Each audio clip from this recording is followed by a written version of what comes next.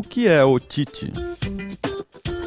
A otite ela pode ser otite externa, que é a inflamação da pele do ouvido, e a otite média, que é a inflamação do tímpano para dentro.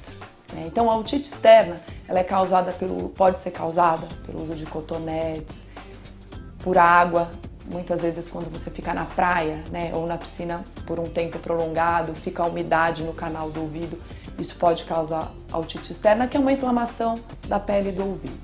Né? Como evitar?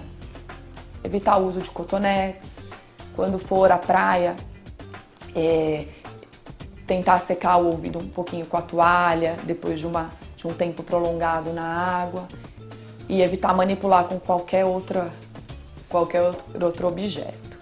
Já a otite média, normalmente ela vem de uma inflamação do nariz. Então, na grande maioria das vezes, ela vem depois de uma gripe e de um resfriado. Isso em crianças maiores e adultos.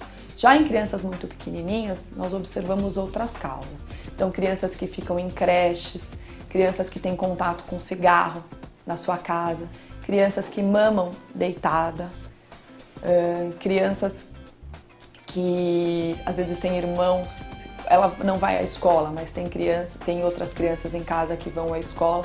Então pegam gripes e resfriados, transmitem para essa criança e tem uma série de alterações no nariz que atrapalha o funcionamento do ouvido, o funcionamento da tuba auditiva e provoca a otite.